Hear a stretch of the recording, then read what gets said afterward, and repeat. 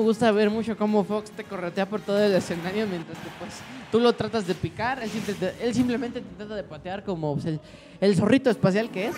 Y sabemos que Fox es un personaje que, que es muy demasiado rápido y paspolea demasiado rápido igual. Ahí empezando con los aéreos por parte de, de Geeket, pero Gumi ahí Castigándole, buscando castigar la orilla, consiguiendo, eh, consiguiendo un cero de calificación. Y ahí este, Gumi entrando con el Ner para el Dancing Blade. Bien hecho. Ese es Ivy buscando ahí con el Down este, sacarlo del stage, pero no lo logró. Y Geeki regresa muy bien con ese castigo de. Vamos ver. Es, es muy bonito ver cómo Fox simplemente puede caer y luego luego tirar cualquier llave. De hecho, eso es un castigo que pocas personas nos pocas personas Sí, sa- sabemos que Fox es, Fox es, de los, es el personaje más rápido en, en caer, de hecho, o sea, en de Postfall. Y pues eso tiene mucha ventaja. Y lo más chistoso es que ni siquiera es pesado, ¿eh? No, no, no, no es pesado, Fox no es para nada, es pesado, pero sí. Ya ahí Geeket llevándose el primer, el primer stock de Gumi. Vamos a ver qué, qué hace Gumi para revertir esta situación, entrando ahí con los Fairs, pero no logra conectar aún ahí. Espaciándose bien Geeket en ese Optic que conecta muy bien, pero que... eh, uy, buscando el Smash, pero no logró conectar nada. Ahí, este Giga tratando, buscando los castigos, tratando de extender la ventaja que ya tiene. Es poquita, pero pues también un buen golpe de Lucina le puede costar el stock a ese Fox. Vamos a ver qué, logra hacer Gumi para quitarle el, stock lo más pronto posible, que pues por ahora aquí que tiene la clara ventaja. Entrando ahí ese grab para forward throw, queriendo castigar, vamos a ver cómo lo hace. Uy, ese optil para, para Ner bien hecho por parte de, de Geeket. Ahí haciendo sus conversiones de Dash, de Nera Dash, tratando de extender la el ventaja. up smash bien hecho, ahí la pirueta mortal de parte de, de Geeket, muy bien hecho. Ya Gumi con un, con un stock y Geeket tiene la clara ventaja por ahora. Vamos a ver qué logra hacer. Ahí tratando de, de- uy, de- el tech de, de Jesús. Otra vez está reviviendo el tech de Jesús. Vamos a ver qué, qué logra hacer aquí Gumi para ya quitar esa stock lo más pronto posible, pero Geeket haciéndole, haciéndole daño ahí poco a poco. Entendiendo que tiene la ventaja y se está portando súper agresivo. Le dice, ¿sabes qué? Tengo ventaja y no pienso cedértela. Vemos que ese, ese zorrito ya... Muy Ya fue. agresivo, pero ya fue, ya. Ya, ya fue picoteado y ya lo estrellaron en la Blazon, ¿no? Vamos a ver cómo, cómo puede eh, mantener Gumi la, este, emparejar la situación, que es un poco complicado porque Geeket está siendo un muy explosivo, muy, muy consistente y ese backer se va a llevar el primer set, el primer match entre Gumi Y Geeket. JV3, ¿eh?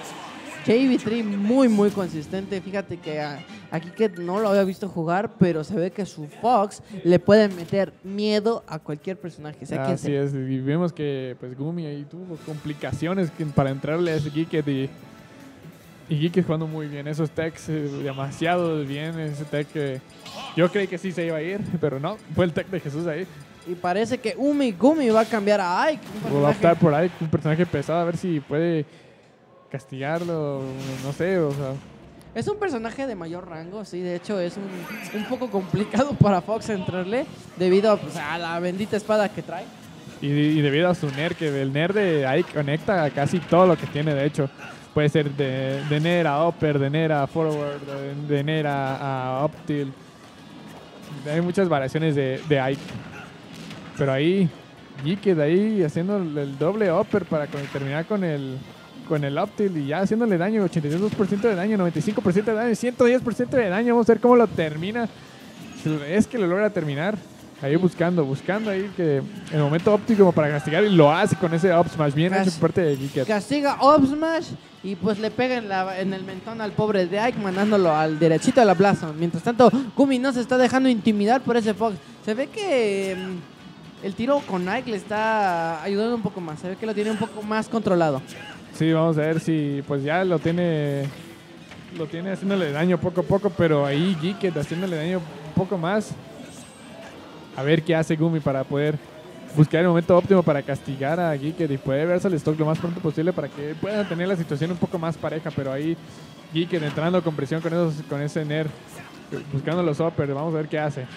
simplemente Kike ya está jugándole un poquito más, más paciente porque pues está consciente de que Ike tiene rango. Así que va a buscar en- va a buscar castigar la mayor cantidad de errores que Gumi llegue a cometer para extender una vez más la ventaja. Sí, aquí ya Gumi haciendo daño poco a poco, pero ya Gumi ya tiene 83% de daño, 87, 95. Vamos a ver si logra regresar o es castigado. Pues no lo sé, eh, pero la situación está casi una stock completa. Pero Gumi alcanza a meter el tilt y pues manda derechito. Y manda al demonio a este Geeker. Así es, ahora vamos a ver si, si Gumi puede mantener, si puede lograr ventaja de todo esto, puede quitarle daño, tiene que aprovechar su- sus dos stocks que le quedan, pero ya está en números rojos y ese up smash se lo vuelve a llevar, bien hecho por parte de Geeket. De hecho, parece que Gumi ni siquiera sintió por dónde le llegó, ¿eh? Sí, sabemos que ese up smash de, de Fox es muy peligroso y puede ser cargado en, pues, casi en cualquier momento. Ahora Gumi manteniéndose en la esquina derecha buscando. Uy, le metió miedo, regresar. ¿eh? Le metió miedo y simplemente dije, me voy por abajo, pero pues por ahí no se llega, carnal. Y pues sí, sabemos que Pokémon Stadium no todos les favorece su regreso. Ya lo estamos viendo por parte de Geeket, pero ahí conectando los uppers bien y castigando ese, ese aéreo con Está sufriendo un poco Gumi y alcanzará a llegar. No. Se lo lleva Geeket, Gumi. Pues no, no pudo ni, ni, ni No un, un Es- match. ese zorro demostró por qué es peligrosísimo. Literalmente yo sentí nada más lo vi a correr, llegar, agarrarlo, vas para afuera y cualquier error aéreo simplemente llegaba y le pateaba las y le pateaba los tanates. Sí, así es. Y pues vamos a seguir aquí.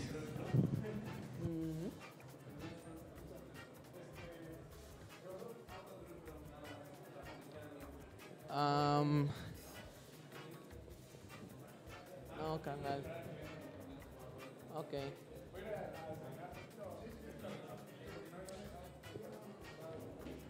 ¿Mm? Ah, sí. Ah, está bien.